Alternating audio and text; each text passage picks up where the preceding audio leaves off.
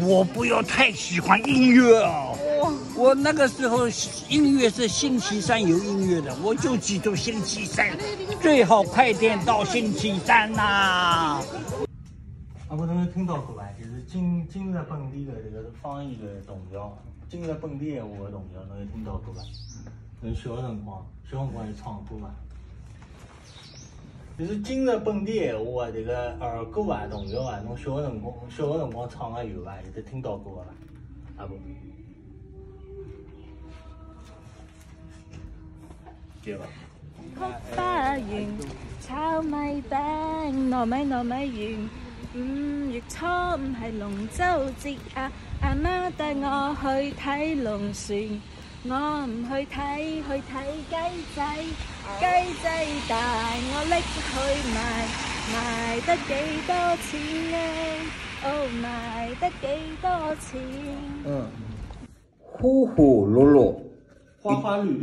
嗯，花花绿绿一条道。哦，花花绿绿嘛。哎。对。呼呼噜噜。哎，呼呼噜噜。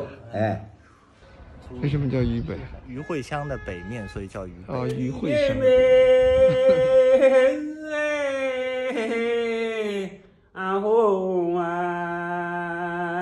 啊，你罗跑那的咋牛？到是我的落日嘛，干的庄，秋收啊，八月要。手上个走，哎呦，呼噜噜妹，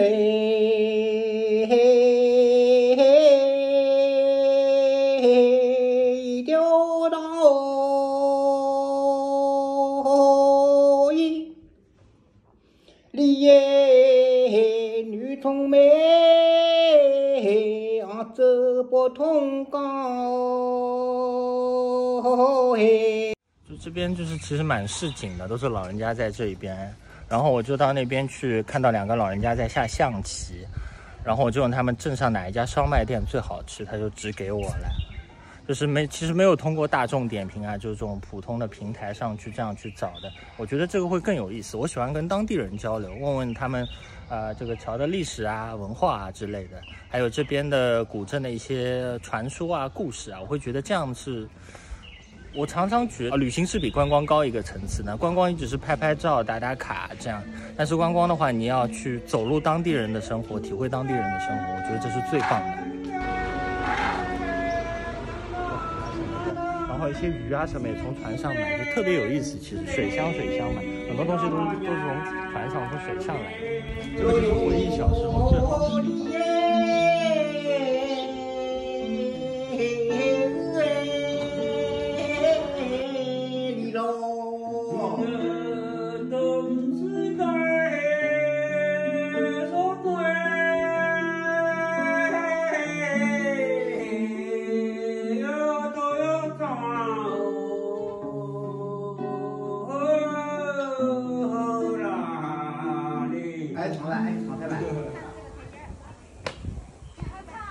不知道大家能不能听见？现在已经有知了声了。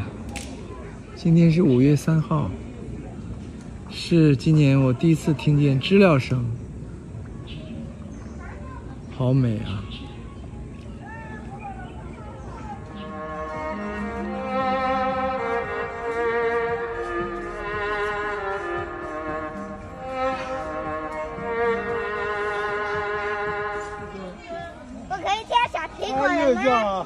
海之恋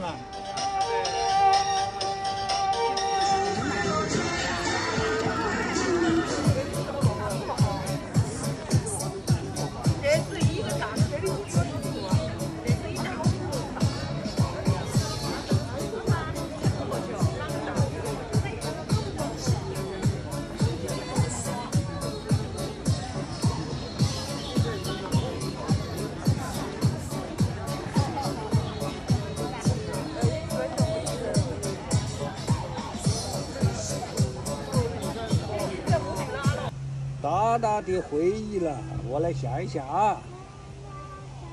哦，肯定是在这个五八年到六零年中间，因为我五呃，要五八年六年哦，六零年以以后，五八年，啊，五八年。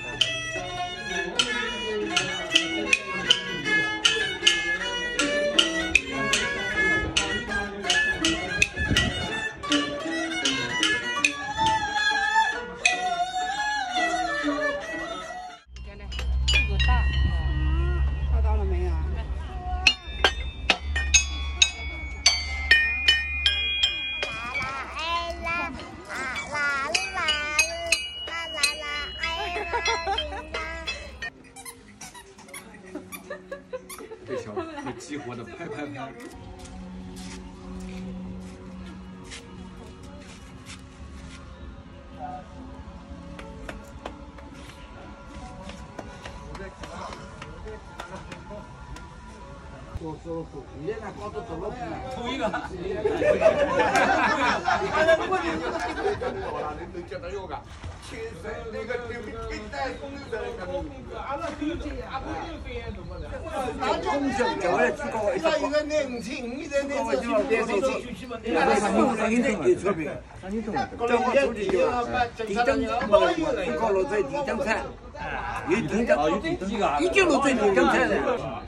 现在现在小人对伐？不是现在呢，高度还高过，现在小人聪明，搿辰光年龄个庄稼笨，第五句四位数的记录，四位数的辰光，现在十三位了，十三十一月，十一月记到了，你搿辰光一年三四位数的记录，对伐？后生来是五位数，哎，后三六位数，八位数，从六起来，再把了，哎，烧烧烧火是因为你来这个盐臭味，一头丢过来，叫公交，没对对对，如果是这样叫人唱的是就好。最后一次打李导李导娘不要太多啊，李导唱唱唱，但是有理有理，哎，你这就唱这是李导娘。李长哎，李长老早老早种种个种庄稼比较多，哎，不是啊，种地种地的多。江一鸣他以前是是唱这个歌的，是一个山人哎嘞。哎，是的。但是他老了，也叫唱歌唱戏，他嗓子很很，你听过的？小头小头，九动八手，人家有酒，我有小头。哦，好的好的好的好的。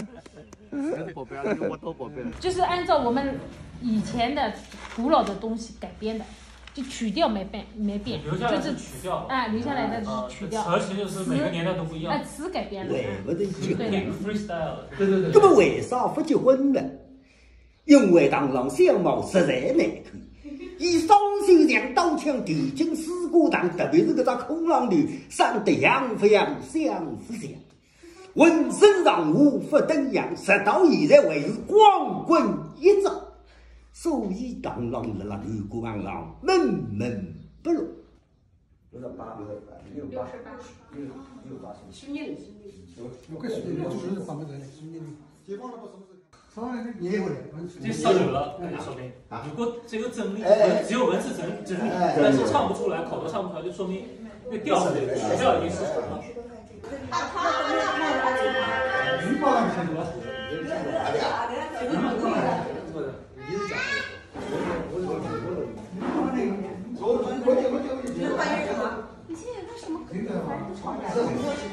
小狗呢？你们抓可以够啦？啊，要抓走一个，啊，要不啦？刚生的是吗？儿子大了，儿子好吃吃饭了。啊？平常它吃的多吗在哪儿呢？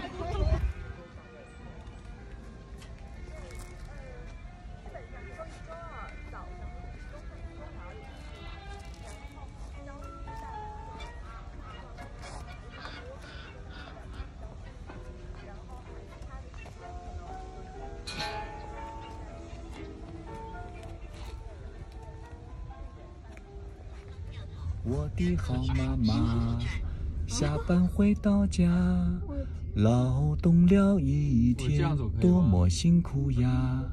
妈妈妈妈快坐下，妈妈妈妈快坐下，请喝一杯茶，让我亲亲你呀，我的好妈妈。那今天收获最大的其实还是倪老师找的找的两位那个田山歌的传承人，呃，特别有的方式，然后主要他自己就是特别热爱这个文化，那就特别容易找到。如果按照地区这样的话，我觉得可是不是？他按概率来说，你砸二十个，怎么能砸着一个吧？今天应该是我从武汉归来之后最开心的一天，就是这件美好的事情，在另外一方面来说呢，就是永远不会太晚，因为总是能够打捞出一点什么东西来，我们能多打捞一手。就是一道这个道理，就是要尊重每一个表演者，但是总是丧失了很多耐心嘛。但是今天就是看两位老师对待每一个表演者的那种尊重，就很感动。然后就告诉自己，以后真的是要好好的去听别人说话，然后永远保持好奇心。嗯，就是今天一天下来之后，我觉得这个过程比我想象之前想象中要难很多。这个感触我觉得就比较深。再一个就是，但是。在今天早上就第一场的时候，在音乐起来的时候，就是小刀老师附上就是伴奏的时候，然后有那么几个瞬间，我觉得值了。感觉好像是有一些部位又我终于回来装上了，然后他能应该能以后会走得更顺一点吧。虽然时间比较紧，但我觉得嗯，十首好听的应该不是问题。好。呃，结束。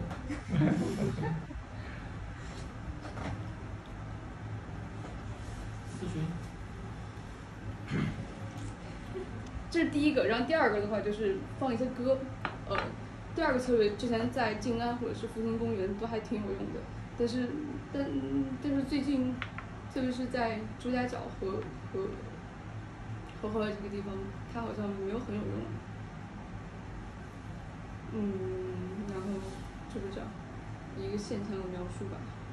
有倪老师带着我们很有目的性，下午找到的几个人也都还，就是挺感动的吧。不管是我跟那个爷爷，就反正我现在就记得那个触感，我跟那个爷爷握手的那个触感，他很用力的回了我一下，然后我就觉得，哇，就是真的是你们说的那种，就是一个本来在田间的一个爷爷。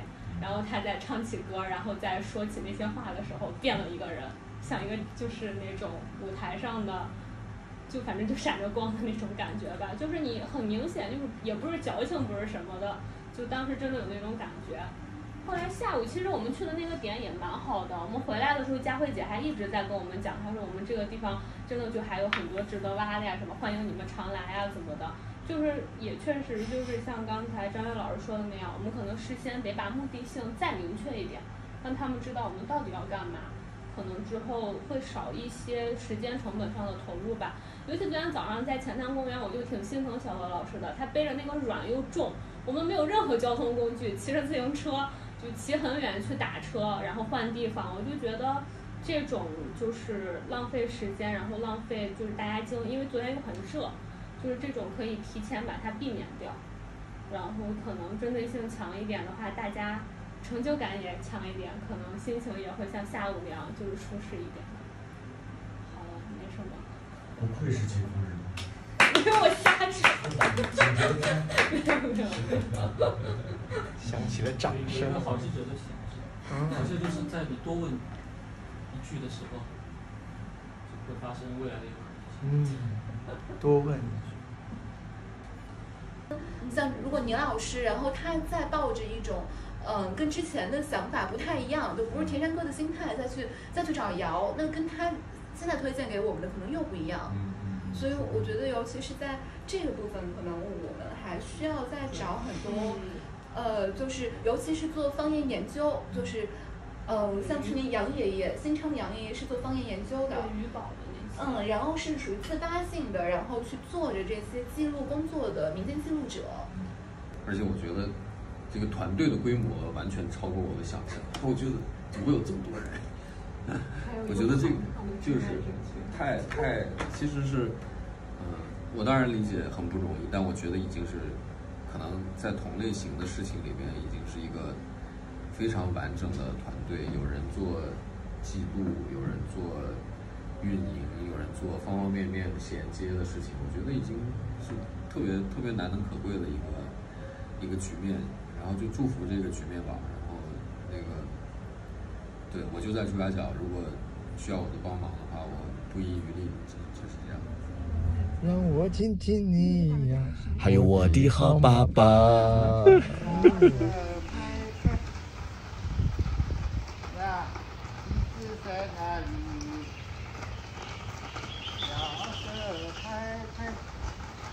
要睡觉了，什么啊？